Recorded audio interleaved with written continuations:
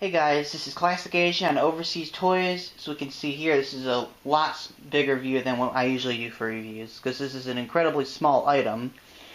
It's a knockoff Thomas the Tank Engine Bump and Go. Um, doesn't really have any name to it, specifically. I don't know the company too.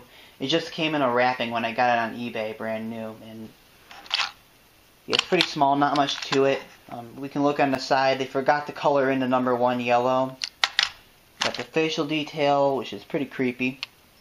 The eyes and the mouth move, or they fluctuate. Um, we got the same side. We have the back, which is a picture of Thomas and Harold. Um, this looks like it could have been a factory defect. They tried to paint it, or they tried to. Yeah, I don't know what that. Maybe they accidentally marked it or something, or they were trying to add some detail to it, like maybe a little more detail, like kind of like what they did to the front, but they just decided not to do it for the back. I don't know why.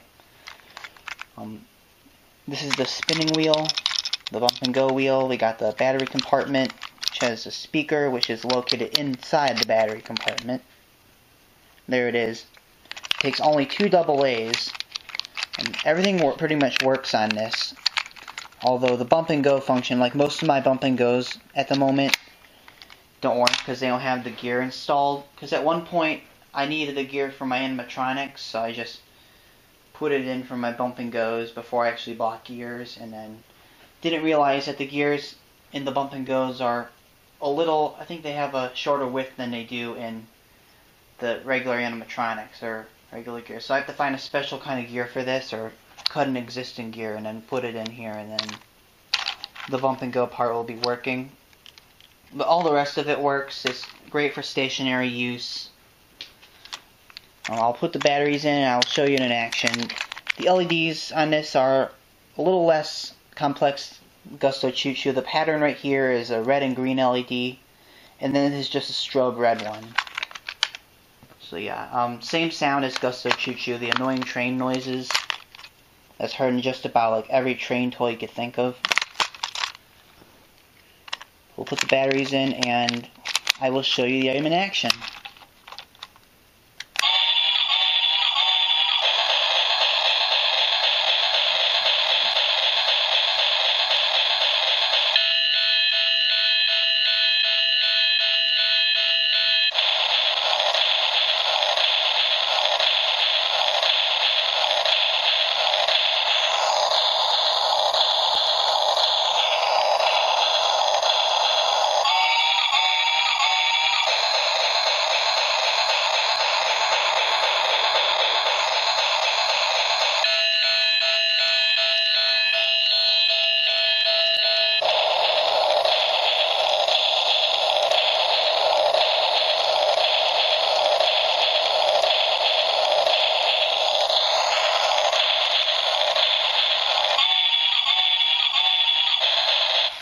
Alright, that's enough of that.